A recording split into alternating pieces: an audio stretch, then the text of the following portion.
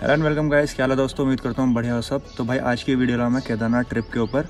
Recently जो है, केदारनाथ के कपाट दोबारा खुलने वाले हैं अप्रैल की 17 डेट को। तो इससे पहले मैंने केदारनाथ की एक सोलो ट्रिप करी थी नवंबर के फ़र्स्ट वीक में। उसके ऊपर मैंने एक पूरी केदारनाथ की ब्लॉग सीरीज़ बना रखी है, जो कि आप मेरे चैनल पर जाकर देख सकते हो। तो किसी पर्टिकुलर वीडियो में मैंने डिस्कस नहीं करा था कि कैसे मेरी ट्रिप रही, क्या उसका एक्सपीरियंस था, क्या बजट था, क्या स्टे था, क्या रूट मैंने पकड़ा था।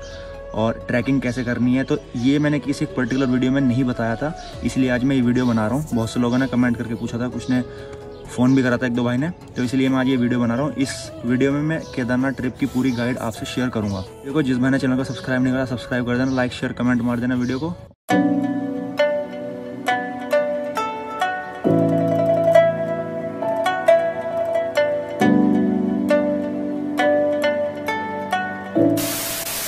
तो भाई सबसे पहले बात करते हैं रूट की। रूट में जो बंदा कोई स्टार्ट करेगा ट्रिप वो अपनी प्लेन से ही करेगा, यानी कि दिल्ली मेरठ से। तो प्लेन से स्टार्ट करते हुए सबसे पहले जाओगे भाई आप ऋषिकेश, और ऋषिकेश से फिर नेक्स्ट आपका स्टॉप होगा देवप्रयाग। देवप्रयाग के बाद आएगा श्रीनगर श्रीनगर के बाद फिर आप जाओगे रुद्रप्रयाग रुद्रप्रयाग के बाद फिर आएगा आपका उखीमठ और उखीमठ से बाहर से निकलते हुए आप आगे जाओगे गुप्त काशी गुप्त काशी के बाद आएगा आपका सोनप्रयाग। तो सोनप्रयाग जो है एंड पॉइंट है मतलब कि वहाँ पर आपको जो भी अपना व्हीकल है, आपका पर्सनल बाइक या कार जिससे जा रहे हो, वहाँ पर आपको पार्क करना पड़ेगा। तो सोनप्रयाग में बहुत बड़ी पार्किंग अवेलेबल है और उसका charge around fifty rupees first day और उसके बाद जो है पर डे के हिसाब से थर्टी या फोर्टी रुपीज़ जो भी है, वो उसका पार्किंग चार्ज है। तो वहाँ पर आप अपनी जो भी पर्सनल व्हीकल है आपका, उसको पार्क करके आगे की जर्नी कंटिन्यू करनी है। तो सोनप्रयाग से आगे आपको जाना है गौरीकुंड। तो गौरीकुंड जाने के लिए आपको वहाँ का लोकल जो ट्रांसपोर्ट है, वो लेना पड़ेगा। गाड़ियाँ चलती है तो बीस तीस रुपये का जो डिस्टेंस है, उसका पाँच किलोमीटर का डिस्टेंस है तो बीस तीस तीस रुपये की चार्ज है उसका। वो गाड़ी आपको सोनप्रयाग से गौरीकुंड छोड़ देगी।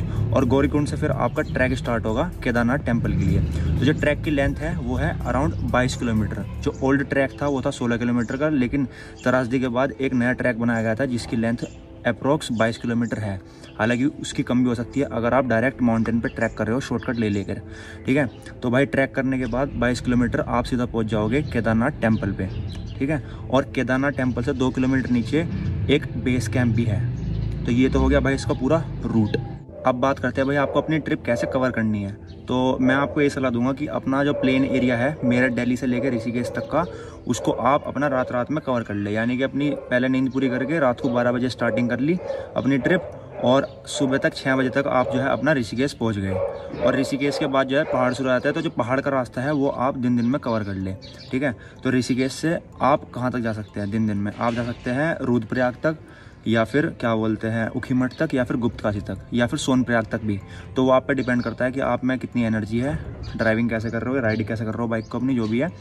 तो जहाँ तक भी आप पहुँचोगे, वो आपका एंड पॉइंट हो जाएगा उस डे के लिए। नेक्स्ट डे से आपको सोनप्रयाग में अपनी गाड़ी और बाइक पार्क करके करके आगे अगर जर्नी कंटिन्यू करनी है। तो मैं आपको ये सलाह दूँगा कि आपकी जो ट्रैकिंग है, वो ट्रैकिंग आप सुबह आठ या नौ बजे से पहले पहले स्टार्ट कर दे, क्योंकि भाई ट्रैक है बाईस किलोमीटर का अप्रॉक्स और एवरेज आदमी पे ये तकरीबन आठ घंटे में कवर होगा। हालाँकि मेरे पे साढ़े छः घंटे हुआ था बेस कैंप तक तो वो साढ़े छः घंटे में मैंने बेस कैंप तक कवर करा था, लेकिन एक एवरेज आदमी के लिए ट्रैक पूरा करना कम से कम आठ घंटे में होगा। और उससे ज़्यादा भी लग सकता है, उससे कम भी लग सकता है। डिपेंड करता है आप कैसे ट्रैक कर रहे हो, ठीक है? जब भाई आप अपनी ट्रैकिंग स्टार्ट करें तो उसमें सबसे पहले अपना ब्रेकफास्ट अच्छे से करके चले और खाना अपना साथ में ले जाए, कुछ चॉकलेट एनर्जी ड्रिंक्स जो भी है। और उसके अलावा ट्रैक आपको ना ज़्यादा तेज़ करना, ना ज़्यादा धीरे करना, बिल्कुल एवरेज स्पीड पर एन्जॉय करते हुए कंप्लीट करना है वो। और फाइनली आप ट्रैक कंप्लीट हाँ इसके बीच में ट्रैक में जो है, कुछ शॉर्टकट्स अवेलेबल है पहाड़ पर डायरेक्ट चढ़ने के। तो अगर आपको लॉन्ग रूट नहीं लेना, आप शॉर्टकट से भी जा सकते हो। इतना हार्ड शॉर्टकट नहीं है। पहाड़ पर डायरेक्ट आपको ट्रैक करना होगा। उससे क्या होगा, आपका बहुत लंबा जो ट्रैक है ना, जो उसका पाथ बना हुआ है, वो आपका बच जाएगा। टाइम सेविंग होगा थोड़ी सी एनर्जी आपकी एक्स्ट्रा लगेगी। तो ये हो गया भाई आपकी ट्रैकिंग और उसके बाद आप फाइनली रीच कर जाओगे केदारनाथ टेंपल पे। तो केदारनाथ टेंपल पे अगर आप रीच नहीं भी कर पाए, अंधेरा होगा उससे पहले तो आप बेस कैंप में स्टे ले सकते हैं। बेस कैंप में कोई होटल्स अवेलेबल नहीं है तो वहाँ पर जो है सिर्फ़ टेंट अवेलेबल है। उसमें आपको स्लीपिंग बैग दे दिया जाएगा। तीन सौ उसका चार्ज है और आपको फिर टेंट में वहाँ अपनी रात गुजार सकते हो। मतलब कैंपिंग भी आपकी एक तरह से हो जाएगी अगर आपको करनी है। बेस कैंप में अवेलेबल है वो। उसके अलावा अगर आप सीधा जो है केदारनाथ टेंपल चले गए तो वहाँ पर होटल रूम अवेलेबल है और उनका चार्ज है अप्रोक्स नौ सौ रुपये पर बेड। तो पाँच आदमी थे हम, हमारा पड़ गया था अराउंड साढ़े चार हज़ार रुपये का पूरा एक रूम, जिसमें कि पाँच बेड लगे हुए थे, काफ़ी कंफर्टेबल था और अच्छी मतलब प्राइस भी उस हिसाब से ठीक है, नौ सौ रुपये पर बेड।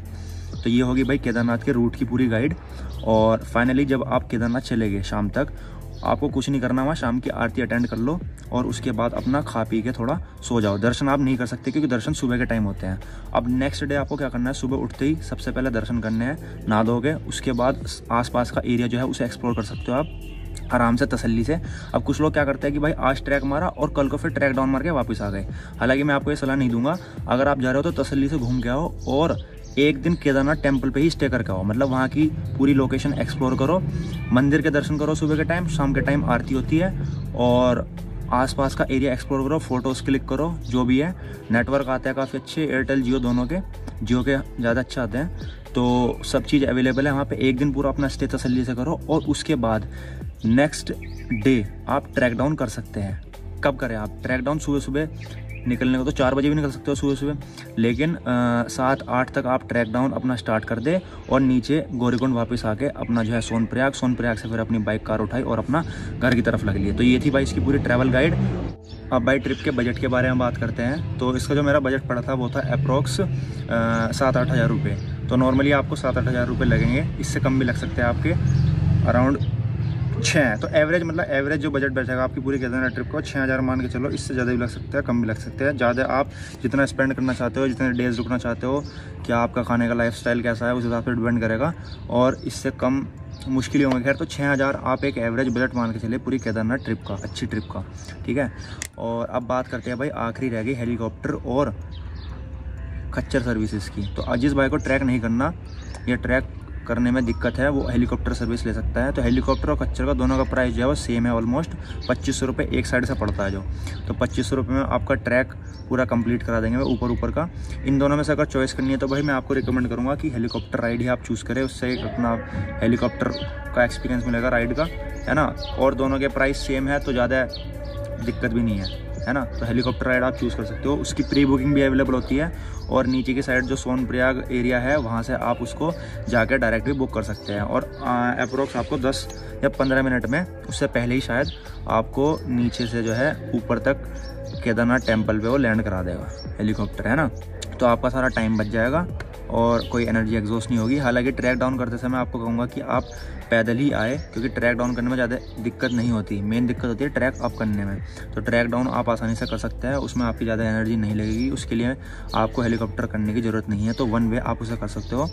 बाकी ये था भाई इसके प्राइस चार्ज रूट स्टे कैसे कैसे करना है आपको, और कैसा एक्सपीरियंस मेरा एक्सपीरियंस बहुत अच्छा रहा केदारनाथ टेंपल का, और 16 सत्रह तारीख को अभी खुलने वाले हैं। पंद्रह सोलह को जो डोली ऊपर जाएगी, गौरीकुंड से। और सोलह, सत्रह को जो है कपाट खुल जाएँगे और यात्रा जो है केदारनाथ की शुरू हो जाएगी। बाकी सेफ़ है, कोई इतनी दिक्कत नहीं है। एन्जॉय करो, दोस्तों के साथ जाओ फैमिली के साथ जाओ और जय भोलेनाथ। तो ये थी भाई इसकी पूरी ट्रैवल गाइड उम्मीद करता हूँ आपको अच्छी लगी होगी। बाकी कुछ आपको पूछना है तो आप कमेंट करके नीचे मुझसे पूछ सकते हो। और इसके अलावा इस वीडियो के बाद आप मेरी पूरी केदारनाथ की व्लॉग सीरीज़ भी चेक कर सकते हो, जिसमें मैंने सिनेमेटिक वीडियोस और व्लॉगिंग करी है। तो उसको ज़रूर देख के जाना चैनल को सब्सक्राइब कर देना लाइक शेयर कमेंट मार देना इस वीडियो को। मिलते हैं किसी और नए वीडियो में। बाय कुछ लोग भाई केदारनाथ टेंपल पे स्नो देखने के लिए भी जाते हैं तो उसके बारे में भी आपको इन्फॉर्मेशन दे दूँगा। अगर आपको स्नो देखनी है केदारनाथ पे तो उसके लिए आप नवंबर के महीने में ही जाए। नवंबर के फ़र्स्ट वीक में गया था मैं और तभी स्नोफॉल जो है स्टार्ट हो गई थी और दिवाली के आसपास जब कपाट बंद होता है, भैया दूज के, भैया दूज के दिन होता है मोस्ट प्रोबेबली उससे पहले अगर आप अपनी ट्रिप प्लान करेंगे तो आपको स्नोफॉल गारंटी से केदारनाथ टेंपल पर मिलेगी ही मिलेगी। तो ये उन लोगों के लिए था जो पूछ रहे थे कि भाई स्नोफॉल कब पड़ती है केदारनाथ टेंपल पर अच्छा भाई तो रूट से रिलेटेड अभी एक अपडेट मुझे और देना था, जो ऋषिकेश से देवप्रयाग तक का रास्ता है, वो अभी हाईवे अभी कंप्लीट नहीं बना है तो पूरा रास्ता टूटा हुआ है।